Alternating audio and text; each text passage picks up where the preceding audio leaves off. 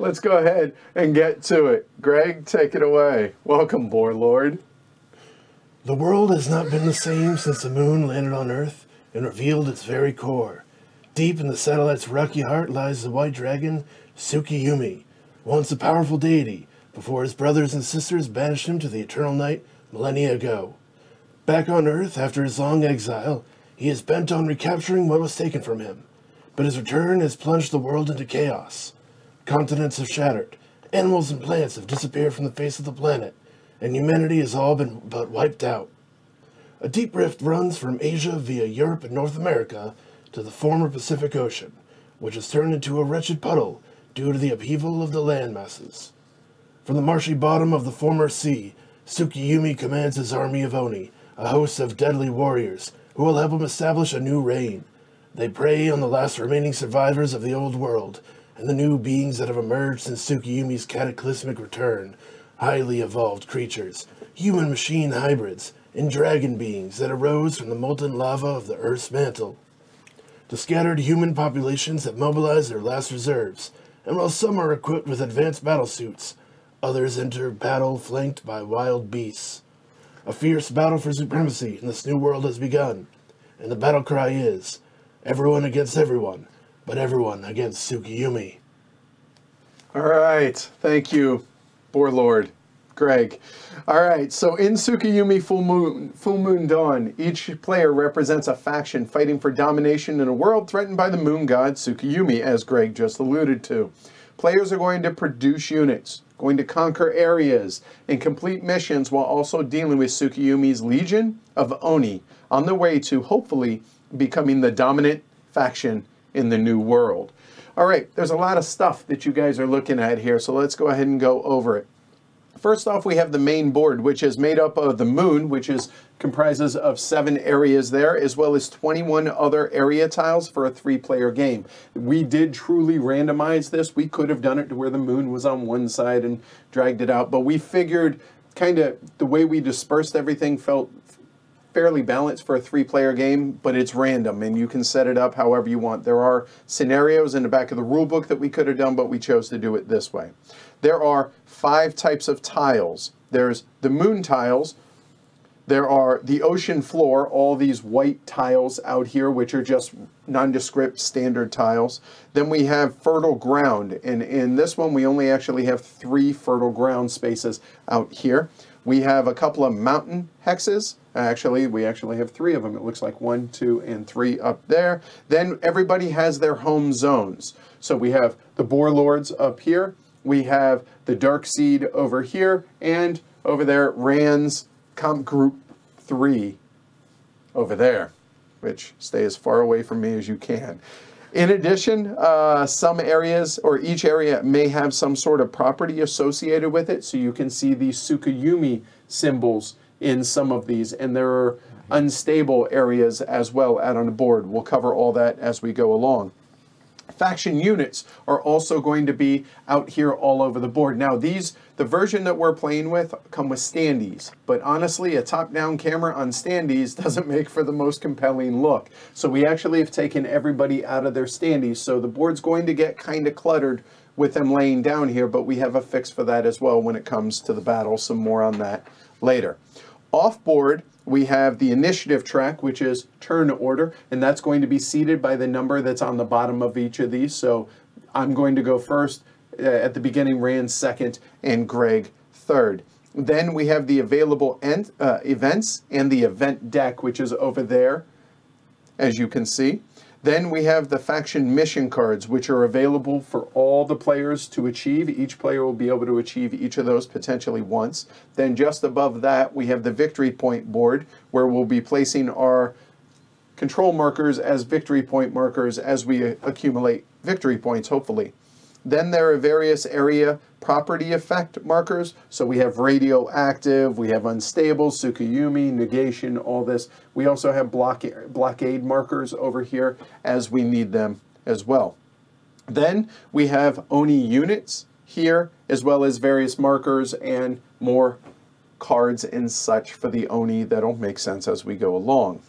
Moving over to the player tableaus, Well, my bugs, my bugs have a lot of stuff here, but everybody has a faction sheet. This faction sheet is actually double-sided, as you can see, like so. But starting out talking about what you guys are looking at here, they are asymmetric player boards at the very top.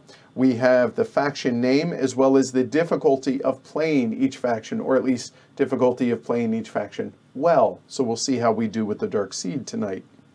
Then we have the faction effect, which this is going to come into play when an action card says so, and all of these are asymmetric. Then a possible special defense action, a bonus defense rating next to that, and then a faction specific goal which will gain you some number of victory points as shown here. Then the cost and abilities of the various faction units, so you can see the various bugs that I have for my faction there. Now on the back side of that player board, you show it shows the starting units, which we have not set up yet, so you guys are going to be privy to the setup as well. More detailed faction effect as well, and then various special rules that apply to my faction and my faction only. All right. Now moving over to the right of that, we have co faction combat cards, and each faction's combat cards are going to have different actions at the top as well as different counter attacks that the other players are going to be able to trigger as we go along. Then a hand of six randomly drawn action cards, which have look like this on one side, and then to show you guys some non-in-play ones, they look like this on the other side, okay? Some will have more of the different colors than others as we go along. And of course, we have the faction unit. So I have a ton of ants, a handful of breeders, some wasps, a fair amount of warriors, three conquerors, one planter, and two stingers. Whereas you take a look over here at Rand's faction, those are all his units. He has a total of five units. So it's the antithesis of mine. So his are big and strong, mine are weak but plentiful. All right. So just to give you an idea of the asymmetry uh, in the game. Now, a reminder that we are playing the core game with just the core rules, which means we're not going to be playing any of the expansion stuff. And Rand, if you can show me one of the tiles on the back side here, they come with an orange border tile. We are not going to be playing with any of these. So all these tiles come prepared for the expansion as well. So that pretty much covers everything that you guys are looking at. Now, how do you play the game? Well, Tsukuyumi is played over four rounds, although you could play it over three or five rounds if you want a shorter or longer game. The base game is set at four rounds. We're playing four rounds. Each of those four rounds follows the same series of steps, with most be actions being optional. After the four rounds, there's a final scoring. Whoever has the most victory points is the dominant faction, wins the game. So each round is divided into the same three phases. Phase one, select an action card. So what does that mean? Well, select one of our six action cards that we have here. Easy enough. The second phase is execute that chosen action card. The third phase is a kind of intermediate scoring phase. Do that over four rounds, and there you go. That's the game. Obviously, there's a lot more to it than just that. So we'll start off with phase one, selecting an action card. Each player, as I said, has a hand of six action cards that they're going to secretly choose one, place it face down in front of them, and each of these action cards has an identical back on the white side for the white phase, okay? Whereas on the other side, they're going to be very asymmetric between the dif different actions. So it could be something like, okay, I choose this card, boom, done, there we go. And that is selecting an action card, pretty easy. So that's the first phase, okay? Every action is optional except for anything that activates the ONI. These are must-take actions. Okay, I just wanted to stress that before we go any further. Okay, the ONI being the uh, the game uh, neutral faction in the game. So that's phase one. Select an action card. Phase two begins with executing the chosen action card. Once all players have chosen an action card, players are then going to execute the cards color phase by color phase in initiative order. So initiative order being as so, and obviously in a higher player, uh, more player, higher player count game, there will be more factions out there. Each player is going to complete one colored phase before moving on to the next player executing that same colored phase. So at the beginning of, the, of each round, we're, me being the first player, I'm going to execute the white phase. Then, looking out here, then Rand is going to execute the white phase. Then Greg. Then we're going to flip over our cards, and then I'm going to execute any of the blue actions that I want. Then Rand will, then Greg will. Then I'll do green, so on and so forth until we get through all of the actions. Then we go into the scoring round. Okay, so that's how the actual execution works. However, let's go ahead and go into this. The four colored phases, which are always executed in the same order as I mentioned, white, then blue, then green, then red. And now is a good time to point out, faction rule breakers trump anything that's on a card. Anything on a card trumps the written rules. That's pretty common amongst board games, I think, but just know this trumps this, which trumps base rules, okay? All right, before we go over the colored phases, let's go over the various actions that are possible in the game. The first option is shown right here, which is use your faction effect. So for me, my faction effect is this. The Conqueror may always be used, meaning my Conquerors can always be used if I choose to. And then I can choose two of these things. Okay, move all my units, all my units are considered flying, and then my breeders and planters may place eggs. Okay, so that is my faction effect. That's going to change between all the players because, Rand, what's your faction effect? You do not have a faction effect. Okay, there we go. So, as you can see, that's going to be different amongst all of us. All right. So, that's the faction effect. Then, changing initiative up or down. So as you can see here, climb up or down two places in the initiative track. Again, this is always voluntary. This is pretty self-explanatory. All other players stay in relative order, okay? So that happens immediately when you make that change.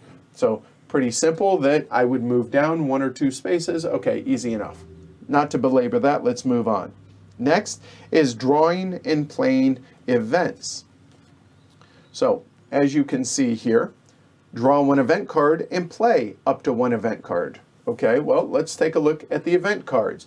You always have a choice of three options to draw from. The two face up, or as we like to call it, mystery meat, top off the deck.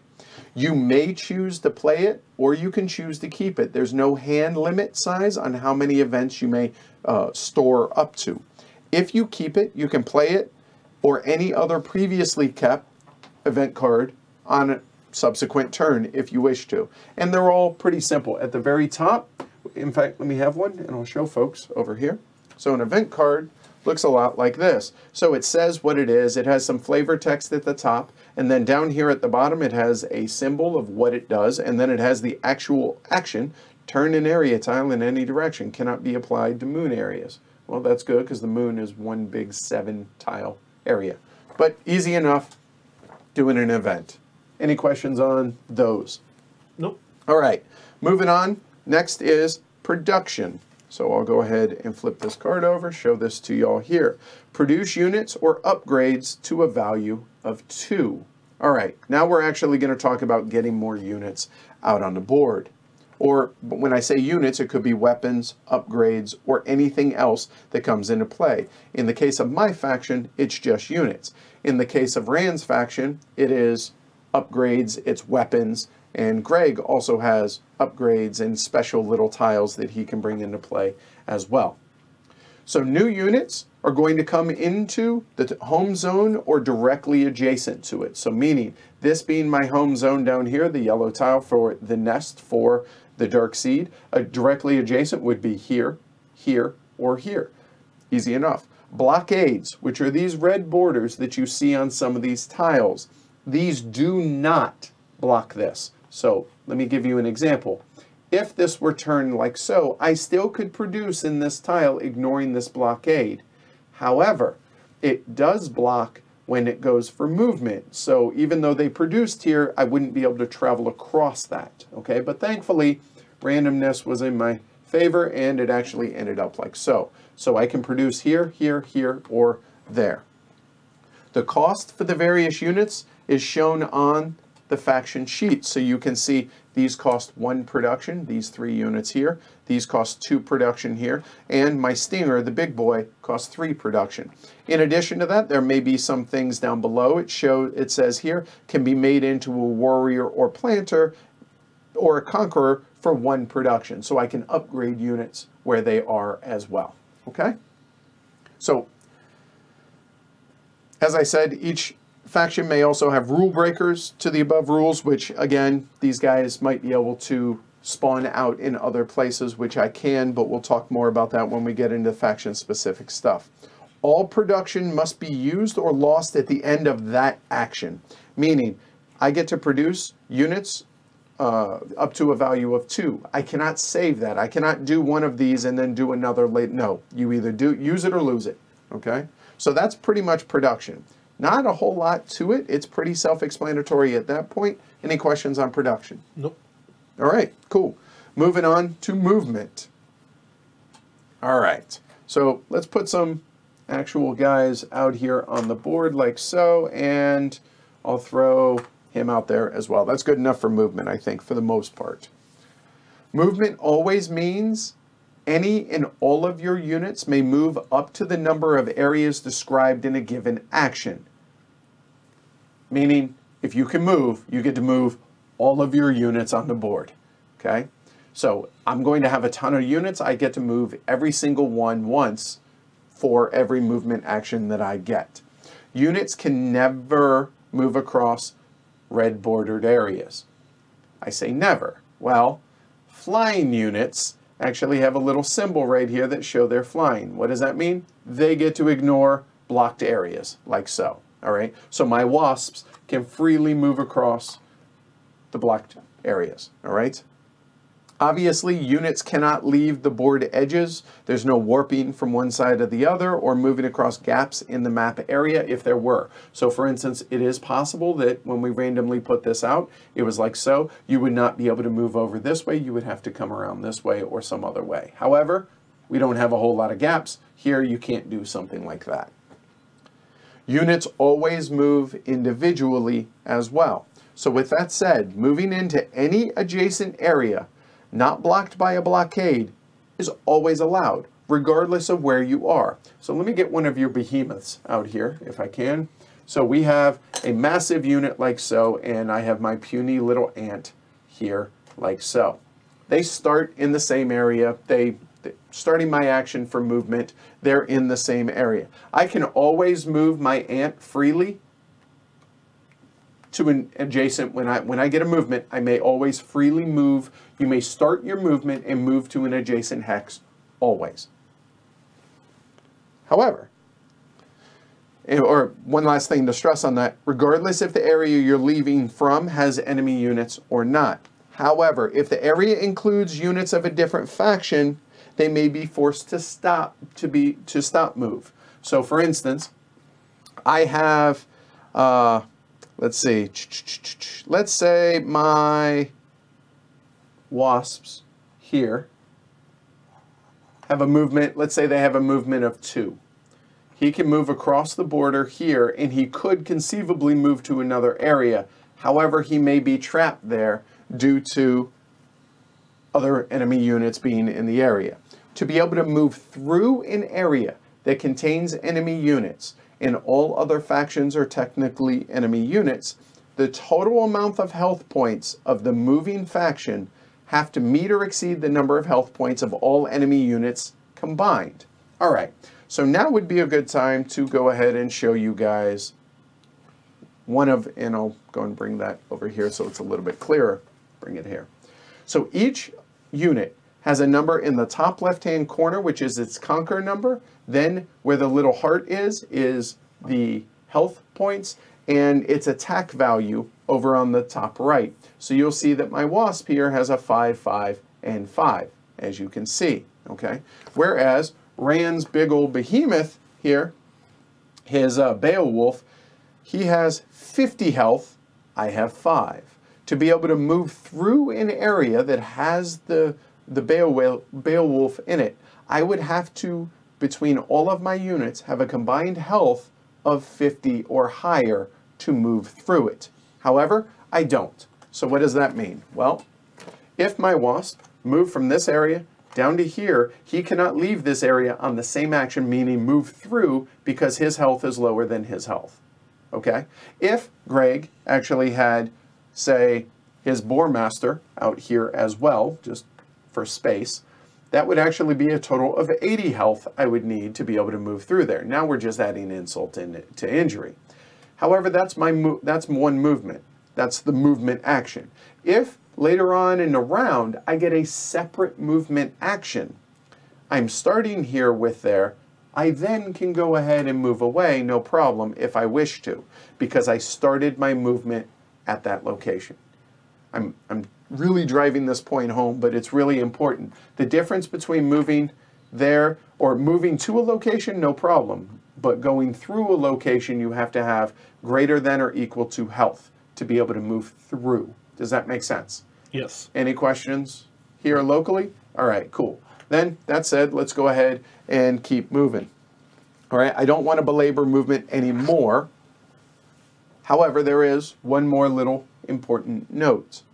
All movement must be completed prior to any combat actions being played.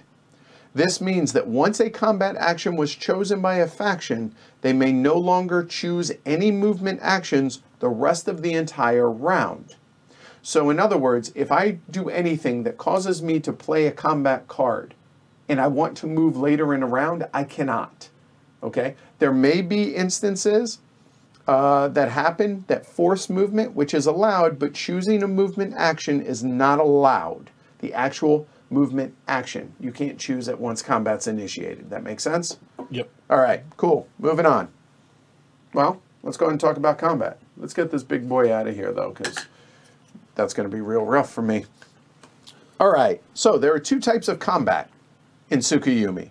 There are attacks versus enemy units, and there are there's the ability to conquer and control the area to be able to get victory points because each of these control markers that's out here on the board is going to be worth victory points at the end of the game. Each combat action uses, well, one combat action. So let me show you guys an example here. So coming back to my tableau, you'll see here it says execute up to two combat actions. Those are two individual actions. So I would be able to have two combats, both against enemies, both against the land to be able to conquer the land, or one of each if I wish to, or neither, or just one. Remember, it's always voluntary in these cases. Active player is always the attacker, and if it's against enemy units, then all present are defenders. So an attack versus enemy units is against all factions in the area. So getting back to that, if we had something along the lines of all these guys in here, and let me go ahead and have some sort of a chance. Let's say all of these are in this area right here. And again, normally these would be standees, okay? My combat is going to be against both the Boar Lords as well as the comp group, okay? When combat happens, you follow the following steps. You spend a combat action. Then, the attacker selects one of their faction's combat cards. All right, so now let's go ahead and talk about the various combat cards here. I'm not going to go over these in detail here, but I would choose one of these four to activate the top part, all right? Then I execute whatever that action is, as shown at the very top of the card. Then each defender in initiative order selects one of the counterattacks listed on that same card, and it could be the same card. So for instance, if I chose this annihilation action, your units cause damage. Okay, easy enough. After I do so, then each of my opponents, starting with the comp group, starting with Rand's faction, then going to Greg's faction, they get to choose one of those four that's listed on this card as a counterattack against me.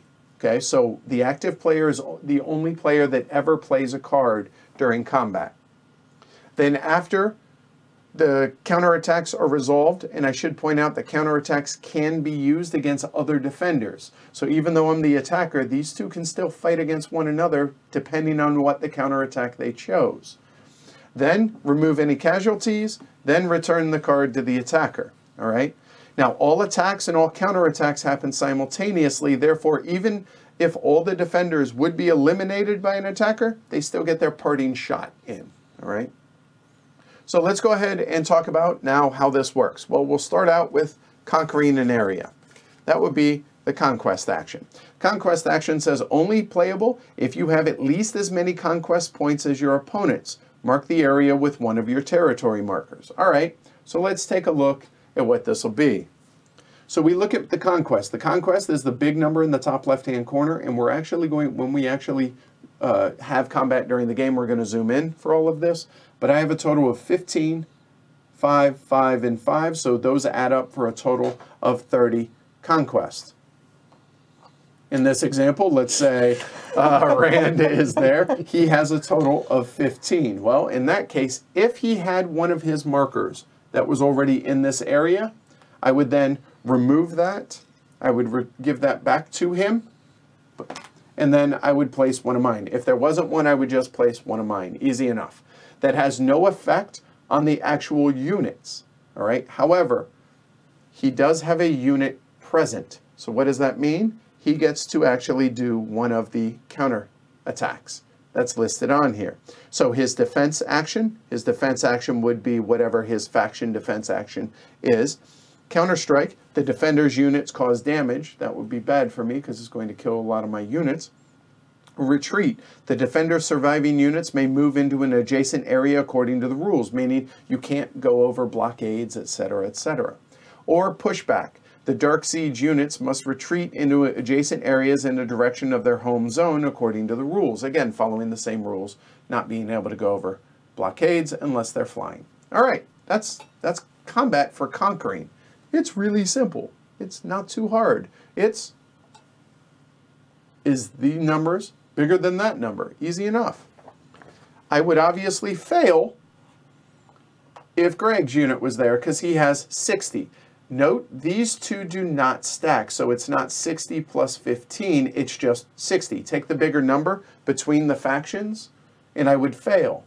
Well, then, in turn order, Rand would get to counterattack on my card, and then Greg would get to counterattack on my card, and all those units would come into play at that point. Any questions on conquering areas? Nope. Nope. All right. Attacking units is annihilation. I love the word they chose for this. So annihilation says your units cause damage. All right, so how does that work? It works as described in the earlier sequence. So we would take a look. All of my units do a total of their attack. 5, 10, 15, and 20 for a total of 35. Multiple factions are present, so therefore, as the attacker, I get to choose how many damage points are assigned to each faction. Well, I have 35 total, and we have 15 here, or I'm sorry, we're looking at health now. They have, he has 30 health, he has 30 health.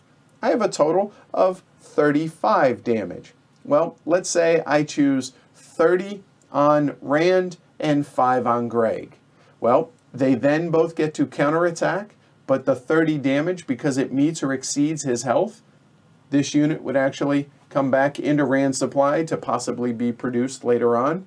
The 5 points that the Boar Master absorbs, well, he just absorbs it because there's no carryover for the different over across different combats. So he just absorbed it, no harm, no foul. That basically that gets wasted. If you don't kill it, it's wasted. All right.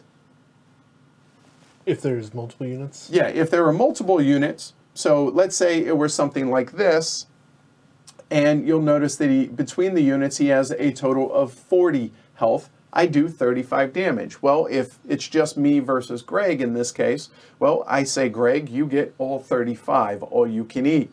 He chooses how to distribute this. So he could choose to go, well, the first 10 goes to the squeaker, so the squeaker would die, and then the residual 25 would come over to his Boar Master. But 25 is lower than 30, so he just absorbs it, no harm, no foul, he would come back. But again, he would get to counterattack as normal. Okay, so the recipient of the damage and damage would come potentially back my way. I get to choose how to distribute it as the faction owner of that damage is a good way to think of it. And attacker versus defender, easy enough. Any questions on attacking? Nope. All right. So, regardless of the result, control markers are never affected in this area when you're fighting with annihilation. Okay? So, this has nothing to do with control, it has to do strictly with faction on faction violence, so unit on unit violence. Okay? All of the above actions now are always optional. However, the next two now on a card, these are mandatory. So let's go ahead and talk about the first one. We have a placing Oni. So you'll see this is always going to be in the green phase, at least to the best of my knowledge, it's always in the green phase. The two options or the two actions that are mandatory are placing Oni and an Oni conquest. So we haven't talked about really Oni yet. What are Oni? Well, Oni are neutral factions, and these are going to be controlled by the players collectively.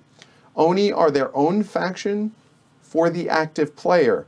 Whoever controls the Oni, i.e. the active player, at any given time, they're acting as the Oni and their own faction does not apply. So whenever I have to place Oni, I'm worried about this. I, it has nothing to do with my own faction. And when Oni Conquest, notice they have an Oni Conquest card. So I will be playing as the Oni, as the active player, if I have those actions on the selected action card. Okay, does that make sense? Yep. All right, so placing Oni, this one's pretty simple. All Oni are valued at the same for production and placing, so any Oni can be chosen. It says place any two Oni. Well, the Oni range from 5 conquest all the way up to 30, and there are a couple of legendaries. We'll talk about the legendaries separately in a little bit. So choosing, well, if they're if I want to place them close to me, maybe I choose the weak ones. If I put them towards the fellas, maybe I choose some of the big and strong ones, all right? Placement is on any Tsukuyumi space on the board or any adjacent space to a Tsukuyumi space. However, you'll note that blockades do matter. So with this Tsukuyumi space here, could not place here because of the blockade, but could place here, could place there, all right? Does that make sense? Yep. Whereas it's adjacent to this Tsukuyumi space, so you could still place here, just not from there. Does that make sense? Yes. All right. If multiple Oni are being placed, they can go to the same or different areas on the board. And if there are no Oni available, we are playing really, really poorly. But if there are none, you have to then perform an Oni conquest instead. However, if it says place two Oni and there's only one left, well, at least I partially fulfilled it, so ignore the Oni con conquest part of that. All right. Oh, oh, one other thing I, I failed to mention. Oni, if they're part of the defenders, they get to retaliate too. They get to counterattack. They're a neutral faction. So if I attack, say, Greg here, well, I'm also attacking the Oni, and they get to counterattack as well, based off of the card that I play. All right?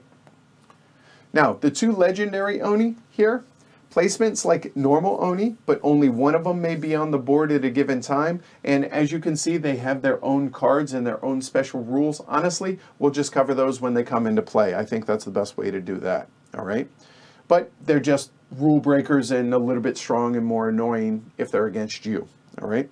So those are all the available actions to players on the action cards themselves. So we do the white phase, then I would start the blue phase, then we would go in initiative order for the blue phase, again, doing things optionally if you wish to, then the green phase, then the red phase. With the caveat that Oni actions are always mandatory. Then we go into intermediate scoring. One other thing, these six action cards that we all that we all got dealt at the beginning of the game. Whichever one we choose as our action, the other five are going to get passed to our left.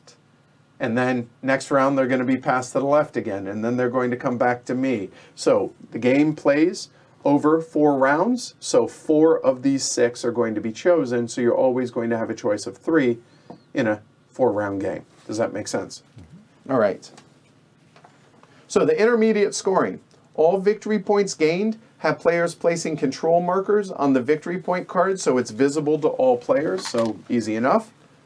Control the center of the moon at the end of a round. Right here, this one hex, it's worth a victory point. You get to place one there each round.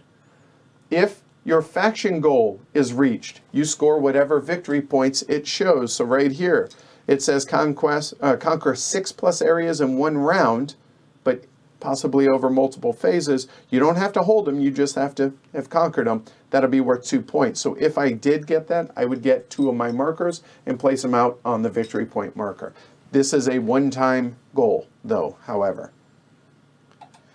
Then, any missions completed. Now, we each have individual missions, however, they're open for all of us to complete. So, here, the mine is control seven areas at the end of a round. So you have to have seven control markers at any given time at the end of a round. If so, you get to place one of your markers from your supply on here. And once you've completed it, you can only complete each one once. Destroy three Oni, possibly over multiple rounds. Every time you kill an Oni, take one of these, unless you're Rand and you kill 12 in a round, then, well, taken care of. But for the rest of us, if you only kill one at a time, just take these markers to show how many that you've killed. And here we have conquer two Tsukuyumi areas. So any areas that have these locations on it, place a control marker. If you have two of those, boom, mission accomplished. If it's not the end of the fourth round, start a new round. Otherwise, go into final scoring. So final scoring, pretty, pretty simple. One victory point for control marker that you have on the board. Fertile ground areas, so these locations here, you'll see, show they're worth two victory points apiece. Whoever's first in initiative order gets two victory points at the end of the game. Whoever's in second in initiative order gets one point, and any other points they've gained throughout the whole game, whoever has the most points wins. The only thing I think I didn't cover is mountains specifically. This adds to the, uh, the conquer number to be able to conquer a mountain area. So you must have that number plus any units that are in there for the highest value, et cetera, et cetera. And that, folks, is how you play Tsukuyumi Full Moon Down.